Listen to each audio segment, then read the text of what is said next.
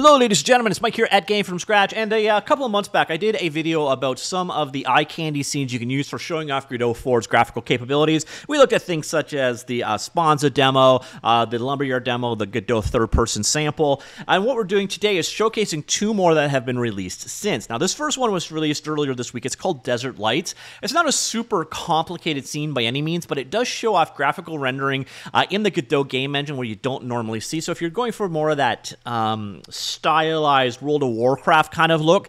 Uh, that is what they're demonstrating here. And what you're also seeing is a flip back and forth between a day and a night life cycle. Uh, and during the uh, day, you're seeing some um, light shafts coming in. This is using voxelized global illumination, by the way. Uh, so you can sort of see how this example works. If you want to jump in and dig it apart, we're going to let it run through. So we'll let it do one full pass back and forth. There's a number of settings you can configure, so you can actually come in here and take control of it. There's a couple of graphics rendering effects you can turn on and off, but you get an idea of the lighting capabilities of Godot 4 in this demo. Again, the map itself is really just what you see here. There's not a ton of assets in here. It's more about the rendering settings that I think you would be interested in. So uh, we'll get to that door, and then I'll show you some of the uh, configurable settings, and then we'll move on to the other examples. So this one is uh, an open source project that is hosted up on GitHub. I will have all the relevant links in the article down below. So if you want to look at how to set up your scene to use like this kind of lighting and effects, well, you can do so. So as I mentioned earlier on, you can hit escape at any particular time and you will find you've got control. You can switch over to uh, first person control. You can also speed up and slow down the day night cycling speed. Um, we also have a number of settings over here. Now, interestingly enough, what I do find is if I come over here, if you don't like the bars, by the way, the bars can be turned off so you can use it full screen here. Uh, there is MSAA, and for some reason, especially if I go to 8X, that is a performance killer big time. Two times not too bad, but that one I definitely notice it hits on performance. Everything else isn't too bad. So, for example, I can turn on temporal anti-aliasing uh, and no real ramifications, although I do start to see little space sperm particle effects show up. I, I, don't know what that is, but again, you got a number of different graphics settings you can play around with here. Uh, so I'm going to turn temporal anti-aliasing back off, and we can also even go up to ultra quality rendering category and get things looking even better. And I do actually prefer the cinematic bars. I'm curious if you do as well. So that there, ladies and gentlemen, is the example. And we can also go out of here and we can switch over to first person mode if you'd like and walk around the level like this and check out things as they go. So uh, again, not a gigantic level, but it does show you how um, the Godot 4 renderer can be used to create this kind of things. And again, you got this nice uh, light setting going on. And this one is using voxelized global illumination instead of signed distance fields. And that actually makes sense because it's an enclosed space. So that is a demo number one. All right, so let's exit out of that guy and we'll switch over to demo number two. And here we are in demo number two. This one, again, is open source as well. This is uh, just a graphic demo of a subway scene. Uh, there's a couple of neat things going on here. Some of the art assets are definitely a little bit on the lower resolution end, uh, but that's you know easily updated. Again, we have lighting going on. This one instead is actually using light maps. So interestingly enough, neither of the new example actually decided to use the signed distance field global illumination in what they did. So this is a um, so you can see a variety of light probes in the scene.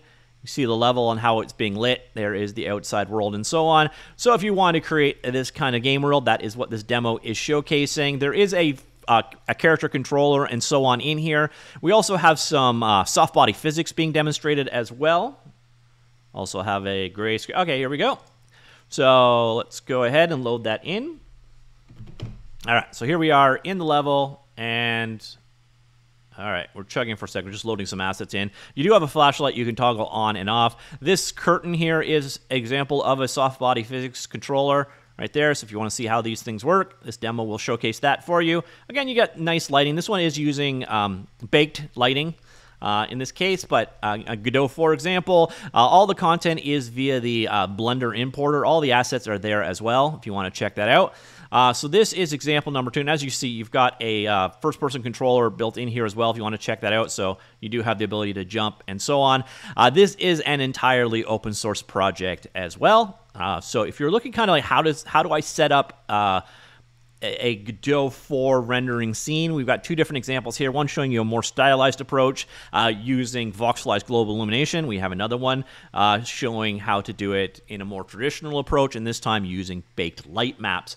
Uh, so, and, and the nice thing is that first example should run perfectly well on a Steam Deck level hardware. You do have some controls over this, so you can turn SSIL, SAO, and glow all off. And you can toggle the, the view PS, the FPS visibility, and so on.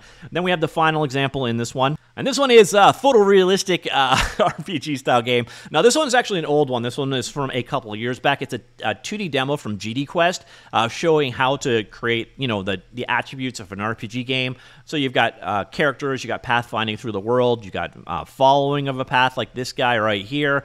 Uh, so it's a template for creating a 2D style RPG game. Now, this actually was published years and years ago. The reason why I'm mentioning it today is it was just ported up to Godot 4. So, if you're interested, uh, the RPG template has been, or I guess it's the Open RPG sample. It now runs on Godot 4 as well. So, as I mentioned earlier on, we did that article back in March showcasing some of the demo scenes that were out there at the time. So, we've got the Godot third person demo, the Sponza, uh, product from Intel. These aren't really game ready. They're very unoptimized, but they're also super high resolution. So if you really want to push it to the max, a good sample there. And then probably one of the sexiest examples out there is the Lumberyard Bistro, which is what this guy is right there. You can check all those out in action in that video. And in terms of the stuff that we covered today, uh, the Desert Light sample here was just published uh, the other day and just updated a couple hours ago. Uh, this one, again, showcases uh, graphics or focuses on volumetric fog and indirect illumination. Uh, so if you want to jump in and learn more about that, it's available there. So interestingly enough, every single Godot project you're ever going to see, Hugo is seemingly a contributor. So he helped contribute on this one, so for some performance optimizations. And let's see, is Hugo on this one? Is he? No, no contributor list here, so who knows? Uh, so this is the uh, Godot 4 Overgrown Subway example. Uh, this one, I don't know why it's not showing up right there. Oh, it's multiple licenses. So CCA for the assets and MIT license for the code.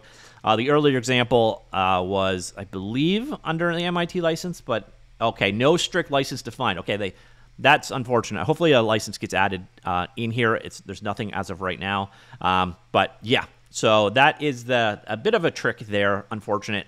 And then of course the Godot Open RPG was recently updated as well. So it, it is now available and working with Godot 4, uh, which is an interesting development. And where you're going to find the majority of the interest, especially if you check out this desert one, it's here it's in the this uh, settings for how they configured the world environment, uh, how things were set up for like the fog and the glow effects and so on.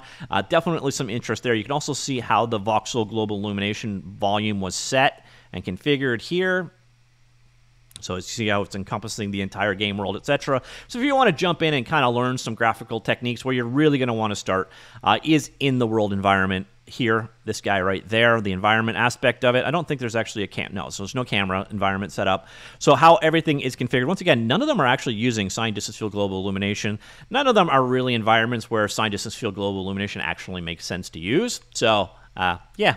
Uh, but yeah, ladies and gentlemen, that is uh, two new uh, examples for Godot 4. So uh, both of them up on GitHub. Hopefully, the one gets added uh, a license for it. The Godot 4 Overgrown Subway demo does have a good license going on right now. The Desert Lights, no license yet. So hopefully, something gets added there in the future. Uh, but if you're wondering how Godot 4 graphics work, you want to start with a template or somewhere to work from. This gives you two options. Also, the um, what was it actually called? The uh, Godot Open RPG has been ported. So again, this is an old project. I think I actually did a video about it way back in the day. But all that code has been ported forward to Godot 4. So if you are looking to create a JRPG style um, JRPG, uh, that could be a good starting point for you as well. And now ported it up to use Godot 4 and the new GD script and all that stuff as well. So let me know what you think. Talk to you all later.